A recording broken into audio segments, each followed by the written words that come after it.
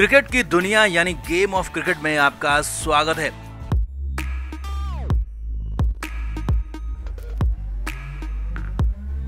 भारत और ऑस्ट्रेलिया के बीच test series का आगाज़ हो रहा है। दोनों ही टीमें ज़बरदस्त प्रैक्टिस कर रही हैं और अब इस बीच बड़ी और सबसे बड़ी खबर यह है कि ऑस्ट्रेलिया के एक नहीं, दो नहीं, तीन तीन दिग्गज टीम से पूरी तरह बाहर हो गए हैं। हालात ये हैं कि कंगारू टीम के लिए 11 खिलाड़ी तक चुनना मुश्किल हो गया एक के बाद एक खिलाड़ी टीम से रेस से बाहर हुए हैं। तो बताते हैं आपको ऐसा क्या हुआ, क्यों हुआ कौन कौन हुए बाहर और अब कैसी होने जा रही है नागपुर टेस्ट के लिए ऑस्ट्रेलिया की टीम। आप इस वीडियो को शेयर करें और कमेंट बॉक्स में अपनी राय ज़रूर दें कि इतनी कमज़ोर टीम क्या भारत को टक्कर भी दे पाएगी? कमेंट ज़रूर करें।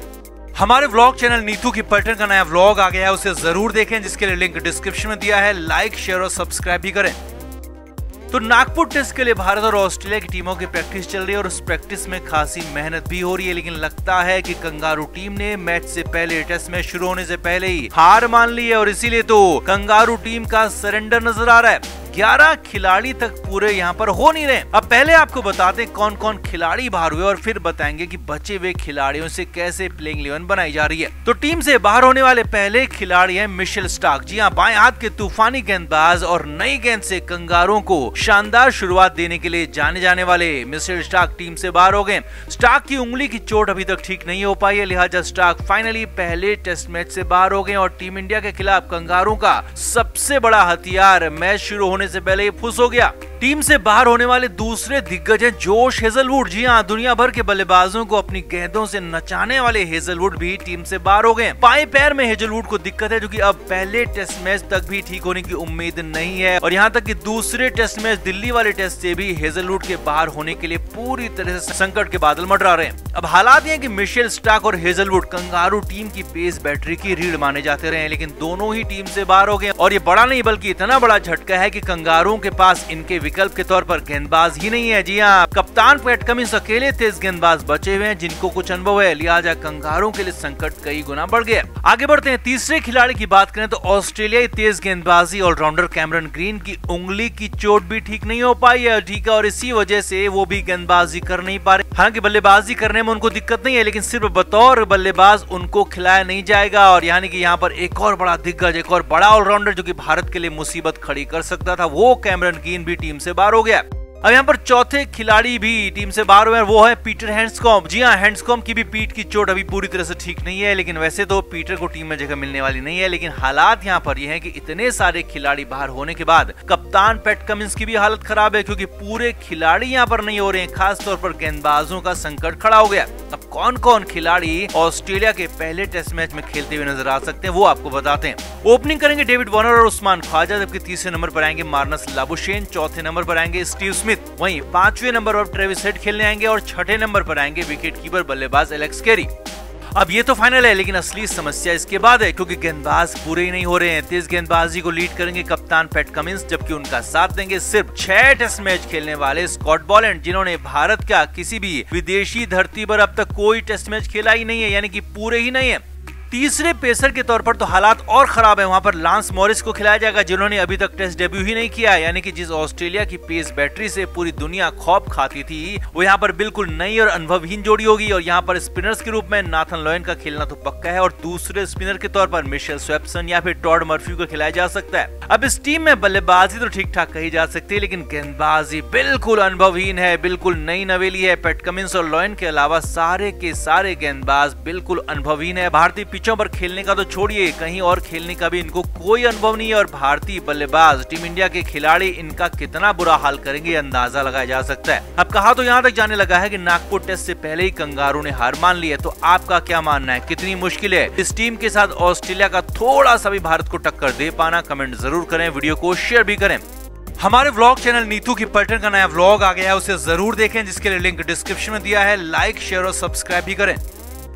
तो ऑस्ट्रेलियाई टीम बेंगलुरु में प्रैक्टिस कर रही है। यहाँ कंगारू बल्लेबाज सिर्फ़ और सिर्फ़ स्पिनर्स की प्रैक्टिस कर रहे हैं। करीब दर्जन भर भारतीय स्पिन नेट बॉलर्स बुलाए गए हैं और उनके सामने स्पिन वाली स्किल बेहतर करने की कोशिश हो रही है। अब बेंगलुरु पहुँचे ऑस्ट्रेलियाई टीम के उप कप्तान स्टीव स्मिथ ने Australian website cricket dot com dot A से बात की और उसमें बेईमानी पर उतर आए। या कहे की भारत में टेस्ट मैच जीतने के लिए प्रपंच रचने लगे। स्टीव स्मिथ से पूछा गया की हर बार तो ऑस्ट्रेलियाई टीम प्रैक्टिस मैच खेलती है और हर विदेशी पर ऐसा करती है। तो इस बार प्रैक्टिस मैच क्यों नहीं खेल रहे हैं? तो स्टीव स्मिथ ने कहा, पिछली बार हमारे साथ धोखा हुआ था और वही धोखा भारत एक बार फिर से करना चाहता है। जी हाँ यहाँ पर बड़ा आरोप लगा दिया। स्टीव स्मिथ ने कहा कि भारत के पिछले दौरे पर मैं कप्तान था और तब हमने जो प्रैक्टिस मैच खेला था तो वो बिल्कुल ग्रीन टॉप विकेट पर था, बिल्कुल काबा जैसी पिच थी। और उसके बाद जिस पिच पर हमने पहला टेस्ट मैच खेला तो वहाँ पर पहले दिन ही धूल उड़ रही थी, जिसमें सिर्फ़ स्पिनर्स को मदद मिल रही थी। और यही धोखेबाजी हमारे साथ इस बार भी हो जाती इसीलिए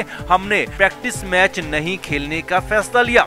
यही नहीं स्टीव स्मिथ ने आके कहा कि भारत में पिचों का स्तर सुधारना होगा, क्योंकि यहाँ पर पिच भारतीय टीम सिर्फ़ अपने हिसाब से बनाती है और पिचों पर बेईमानी करके, धोखेबाजी करके मैच जीत जाती है, जो कहीं से भी ठीक नहीं है। अब स्टीव स्मिथ का ये कहना था कि बवाल मच गया क्योंकि स्टीव स्मिथ ने सीधे सीधे टीम इंडिया को, भारतीय पूरे मैनेजमेंट को धोखेबाज, बेईमान कह दिया था, जबकि वो खुद बेईमानी पर उतर आए थे, क्योंकि प्रपंच रच रहे थे, टीम इंडिया को प्रेशर में लिया जा सके और भारत को दबाव में लाकर हराने की कोशिश कर कर रहे थे, क्योंकि वैसे तो कंगारू टीम के बस की बात नहीं है। और इसीलिए इसके बाद बवाल मच गया। भारतीय दिग्गजों ने स्टीव स्मिथ को तीखा करारा जवाब दे दिया।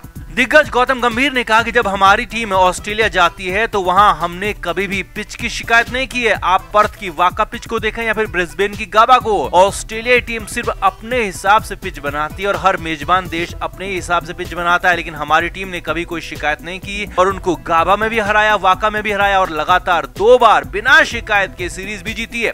वीरेंद्र सहवाग ने कहा कि ऑस्ट्रेलिया टीम जिस दिन गाबा में दिल्ली के कोटला जैसे पिच बना देंगे तो हम भी उसी दिन उनके लिए दिल्ली में ब्रिस्बेन का गाबा बना देंगे, लेकिन शुरुआत कंगारों को करनी होगी। इरफान पठान ने भी स्टीव स्मिथ को फटकार लगा दी और कहा की ये कोई धोखेबाजी और बेईमानी नहीं है। हर मेजबान देश का अधिकार होता है अपने हिसाब से पिच बनाने का, कंडीशन तैयार करने का, और इसीलिए इसे घरेलू सीरीज़ कहा जाता है। अगर आप में दम है तो हमें हमारी कंडीशन में हराइए, हरा के दिखाइए, क्योंकि हम तो ऑस्ट्रेलिया को उसके घर में, उनकी पिच पर, उनकी कंडीशन में दो दो बार हरा चुके हैं, उनका घमंड तोड़ चुके हैं।